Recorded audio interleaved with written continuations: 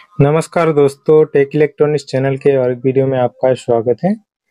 दोस्तों, आज मेरे पास आया है ये अजंता कंपनी का एक सेवन वाट का खराब एलईडी बल्ब रिपेयरिंग के लिए। जैसे कि आप देख सकते हो सेवन वाट का है। और ये कितना दिन पुराना है, यहाँ पर तो लिखा हुआ नहीं है। तो फिर भी मुझे लग रहा है, बहुत ही पुराना है। उसके बाद ही खराब हुआ है। तो चलिए, सबसे पहले इस बल्ब को बिजली में लगा कर देखते हैं। क्या प्रॉब्लम है इसमें? आखिर हमें दिखाई देता है।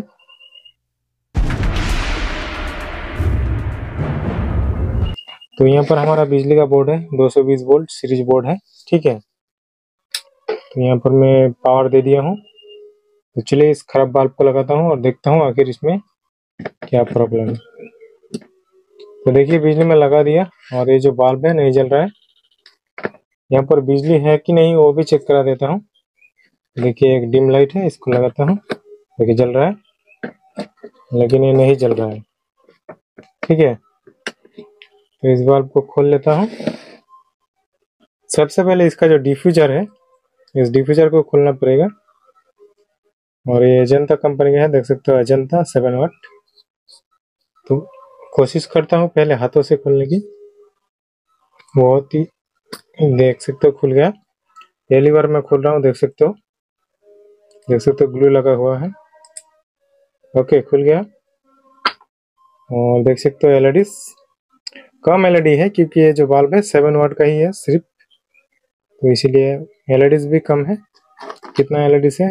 One two three four five six seven सात ही एलईडी है। एक एक एलईडी वन वाट का। तो यहाँ पर मुझे लग रहा है जो एलईडी है नाइन वोल्ट का ही है। आई होप तो सबसे पहले क्या करना पड़ेगा? हमें जो यहाँ पर वोल्टेज है चेक करना पड़ेगा। कितना आ रहा है आखिर? इसको चेक करना होगा, यहाँ पर वोल्टेज आखिर आ रहा है कि नहीं आ रहा है? अगर नहीं आ रहा है तो ड्राइवर भी खराब होगा। लेकिन इसका जो एम सी भी है, वो तो क्लियरली दिखाई दे रहा है जो ये एम सी है फ्यूज हो गया है। देख सकते हो, इसका कलर को देख के पता चल रहा है। देख सकते हो। और ये सिक्स वोल्ट का भी हो सकता है, देख सकते हो। नहीं नहीं, ये नाइन वोल्ट का ही है। अंदर देख सकते हो। तीन तीन सेमीकंडक्टर ये चीज़ आप ध्यान रखें। देख सकते हो क्लियरली दिखाई दे रहा है। एक, दो, तीन। ठीक है? तो इसका मतलब यहाँ पर जो एलईडी से नाइन वोल्ट का ही है। और सेवन है। उस हिसाब से सिक्सटी थ्री वोल्ट का ये एमसीपीसीबी है। तो देखते हैं कितना वोल्ट आता है। तो बिजली में लगा लेता हूँ। बिजली में लगा के आपको यहाँ पर नहीं है छूना है। नहीं तो आपको झटका लग सकता है। देख सकते हो, एक टेस्टर है, देख सकते हो। टेस्टर जल रहा है, देख सकते हो। टेस्टर जल रहा है। दोनों वायर में जल रहा है। दोनों वायर में देख सकते हो, जल रहा है। ओके इसमें भी जल रहा है। तो यहाँ पर नहीं छूना है आपको। तो उसके बाद मैं मल्टीमीटर लेता हूँ। मल्टीमीटर को हमें 200 वोल्ट डीसी पे सेट करना है। क्योंकि यहाँ पर 100 वोल्ट के आसपास आ सकता है। तो देखते हैं डीसी वोल्टेज आएगा, लेकिन आपको नहीं छूना है। ये नॉन आइसोलेटेड पावर सप्लाई है। देख सकते हो 136 वोल्ट आ रहा है दोस्तों। अरे यार। देख सकते हो शॉर्ट करने से यहाँ पर आग निकलता है। 125 30 वोल्ट दिखा रहा है। ओपन सर्किट में। तो इसका मतलब हम यहाँ पर 81 वोल्ट का या 100 वोल्ट का भी एम सी को यूज़ कर सकते हैं। ठीक है? तो मेरे पास तो 9 वाट का एम सी है, ये 7 वाट का बाल्ब को 9 वाट का बाल्ब बना देंगे। क्या ये पॉसिबल है? तो देखता हूँ। अगर यहाँ पर 9 वाट का एम सी को लगाने के बाद सेम वोल्टेज आ रहा है तो 9 वाट का बन सकता है ये। तो चलिए देखते हैं।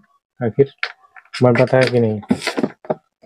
तो सबसे पहले यहाँ पर से जो है फ्यूज एम है, इसको खोल लेते हैं। पहले दोनों स्क्रूज को मैं खोल लेता हूँ। एक स्क्रू दूसरा स्क्रू दोनों स्क्रूज को खोल लिया। ओके उसके बाद इसे एमसीपीसीबी को डिस्कनेक्ट कर लेता हूँ। देख सकते हैं यहाँ पर ये जो व्हाइट कलर का वायर है, दिखाई दे रहा है, ये पॉजिटिव है पॉजिटिव में लगा हुआ है, देख सकते हो प्लस में ब्लैक नेगेटिव में। तो यहाँ पर से डिशोल्डर कर लेंगे दोनों वायर को।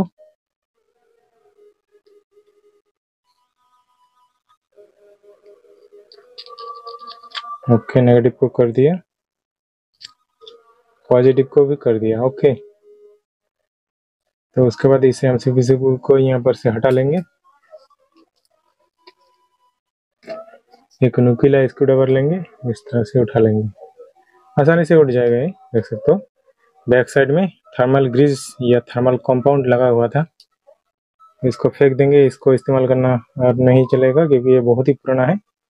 इसका जो कलर है, देख सकते हो एलईडी का वो भी बदल गया है। इसको पूरा ही फेंकना बेहतर होगा। तो जैसे कि आप लोगों ने देख लिया, यहाँ पर 100 वोल्ट से ऊपर ही आ रहा था डीसी तो यहाँ पर हम 9 वाट का एमसीपीसी भी यूज़ कर सकते हैं। तो सभी बाल्ब में ऐसा आप नहीं कर सकते हो, लेकिन देख सकते हो ये एजेंडा कंपनी का है। इसमें इस्तेमाल कर सकते हो। तो देखता हूँ। पहले एक नाइन वाट का भी ले लेता हूँ, उसके बाद दिखाता हूँ। तो देख सकते हो ये है मेरे पास नाइन वाट का हाई क्वालिटी का एम ठीक है। इस एम को लगा के देखेंगे। क्योंकि यहाँ पर लगभग 100 वोल्ट से ऊपर ही आ रहा था तो ये इस्तेमाल कर सकते हैं। और ये कितना वोल्ट का है? देख सकते हो, ये नाइन वाट का तो है, लेकिन कितना वोल्ट का है ये? यहाँ पर नौ एस एम टी है और एक एक नाइन वोल्ट का है तो ये एट्टी वन वोल्ट का है। लेकिन वहाँ पर जो एम सी लगा हुआ था, वो सिक्सटी थ्री वोल्ट का था ओनली तो यहाँ पर ये नाइन वाट का लगा के दिखा देता हूँ आप लोगों को। ये कॉन्फर्म मुझे लग रहा है, जलेगा ही। तो बैक साइड में हमें थर्मल ग्रिज लगाना पड़ेगा। तो ये रहा थर्मल पेस्ट थर्मल कंपाउंड छोटा सा डब्बे में रखा हूँ। ठीक है थोड़ा थोड़ा निकाल के बैक साइड में इसमें लगा लूँगा पहले। इसको लगाना ज़रूरी है ताकि हमारा जो एलईडी है कूल रहेगा थोड़ा सा। तो बैक साइड में लगा दिया। तो उसके बाद हमें जो अजंता कंपनी का सेवन वाट का बल्ब है, उसमें नाइन वाट का एम सी को लगाना है। उसके बाद यहाँ पर मैं बिठा देता हूँ पहले। ओके। और दोनों स्क्रूज को पहले कस लेता हूँ मैं, ताकि इधर उधर ना हिले। ठीक है कस लेता हूँ पहले। दोनों स्क्रूज को पहले थोड़ा सा कम कसेंगे, उसके बाद टाइट कर देंगे। क्योंकि हमारा जो एम सी है, इसका साइज़ थोड़ा सा छोटा है। तो इस बार टाइट कर देता हूँ मैं। अच्छे से टाइट करना है। बहुत ही ज़्यादा टाइट नहीं करना है कि ये टूट ही जाए और इसका जो थ्रेड है स्क्रूज का कट जाए।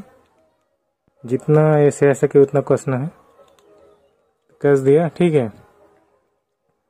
तो उसके बाद मैं सोल्डर कर देता हूँ। यहाँ पर जो व्हाइट कलर का वायर है, उसको प्लास में इधर प्लस इधर प्लस में। ब्लैक कलर का वायर को माइनस पे। सोल्डर कर देता हूँ। थोड़ा सा मैं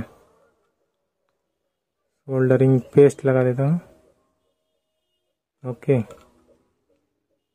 पॉइंट्स पे थोड़ा थोड़ा सोल्डरिंग पेस्ट उसके बाद शोल्डर वायर लेंगे। और शोल्डर कर देंगे। पहले M C P C B में। थोड़ा थोड़ा शोल्डर लगा लेंगे। उसके बाद वायर्स को लगा लेंगे। प्लस में व्हाइट कलर का वायर को। उसके बाद हम करंट भी चेक करेंगे। या वोल्टेज वो को चेक करने से भी पता चल जाएगा। पॉजिटिव को लगा दिया।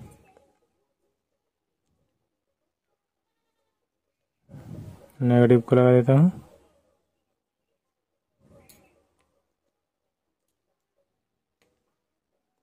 नेगेटिव को लगा दिया, देख सकते हो, हमारा जो बल्ब है, वो रिपेयर हो चुका है होपफुली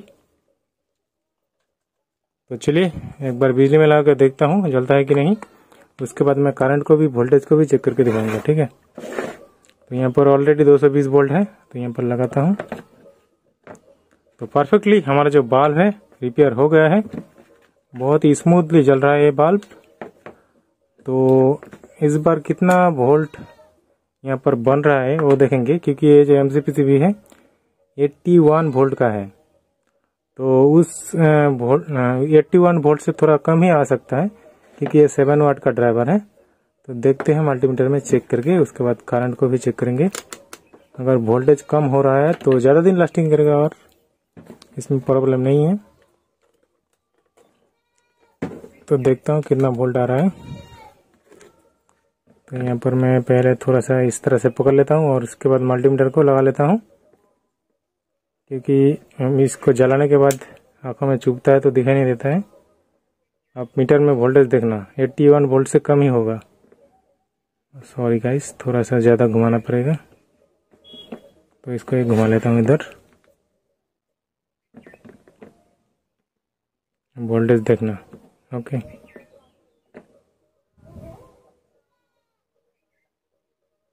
देख सकते हो seventy nine point six volt. तो परफेक्ट है परफेक्ट बिल्कुल परफेक्ट है। परफेक्ट वोल्टेज आ रहा है। दो वोल्ट कम हो रहा है तो कोई प्रॉब्लम नहीं। और जो करंट है, वो कम हो रहा है, देख सकते हो। जो करंट है डेफिनेटली वो कम आ रहा है थोड़ा सा। तो फिर भी ये ज़्यादा ही वाट का बन गया। क्योंकि सेवेंटी नाइन वोल्ट हो रहा है। तो परफेक्टली ये बहुत दिन लास्टिंग करेगा आप। तो ठीक है, एक बार करंट को भी चेक करके दिखा देता हूँ आप लोगों को, जैसे कि आप लोगों को मैं बताया। तो करंट को चेक करने के लिए पहले एक एक वायर को डिस्कनेक्ट करना पड़ेगा यहाँ पर से। कोई भी एक वायर को डिस्कनेक्ट कर सकते हो। कर दिया, ठीक है। तो उसके बाद बिजली में लगा देंगे। बिजली में लगाने के बाद हमें मल्टीमीटर को सेट करना है। दूसरा मल्टीमीटर लेता हूँ एक। तो ये मल्टीमीटर ले लिया हूँ। तो इसको मैं सेट करूँगा। 200 हंड्रेड मिली एम्पियर पे, ठीक है? तो यहाँ पर अगर 9 वाट का है तो 100 मिली एम्पियर आता है। ये 7 वाट का है, कम आएगा। तो अगर लगभग 100 के आसपास आ रहा है तो ये 9 वाट का बन गया। तो यहाँ एक वायर को इस तरह इधर लगाएँगे। एक वायर जिस वायर को डिस्काउंट किया और दूसरा वायर को लगाएँगे एम सी पी में। और देखेंगे कितना आ रहा है। देख सकते हो ninety two point something milli ampere आ रहा है। अब मीटर में देखिए। Ninety two point something milli ampere आ रहा है। तो उस हिसाब से अगर कैलकुलेशन करता हूँ, थोड़ा सा मैं कैलकुलेशन कर लेता हूँ। तो देख सकते हो दोस्तों, यहाँ पर तो मैं नाइन वाट का एम भी लगा दिया, लेकिन जो आउटपुट है, देख सकते हो, जैसे कि मैं आप लोगों को मेजर करके दिखाया, देख सकते हो seventy nine point something volt आ रहा है यहाँ पर एम को लगाने के बाद, और जो करंट है zero point zero nine two milli ampere तो उस हिसाब से अगर कैलकुलेशन करता हूँ, देख सकते हो 7.26 वाट का ये बल्ब बनता है। तो ये 9 वाट का तो नहीं बना 7 पॉइंट समथिंग वाट का बना थोड़ा सा ज़्यादा वाट का बना। ठीक है कैलकुलेशन के हिसाब से। तो इस हिसाब से जो बल्ब है हमारा बहुत दिन लास्टिंग करना चाहिए क्योंकि जो M C P C B L E से वो ख़राब तो नहीं होगा। आ, लेकिन ड्राइवर ख़राब होगा कि नहीं इसमें मैं थोड़ा सा डाउट में हूँ। लेकिन इस तरह से तो मैं बहुत दिन से इस्तेमाल कर रहा हूँ ख़राब नहीं होता है। तो ये अजंता कंपनी में मुझे उतना भरोसा नहीं है कितना दिन चलेगा लेकिन हेबल्स कंपनी में तो बहुत दिन लास्टिंग करता है ठीक है? तो दोस्तों आपको वीडियो कैसा लगा? अगर अच्छा लगा तो वीडियो को लाइक करें दोस्तों के साथ शेयर करें और इस चैनल को सब्सक्राइब करें इसी तरह का वीडियो आगे भी देखने के लिए। वीडियो देखने के लिए बहुत बहुत धन्यवाद।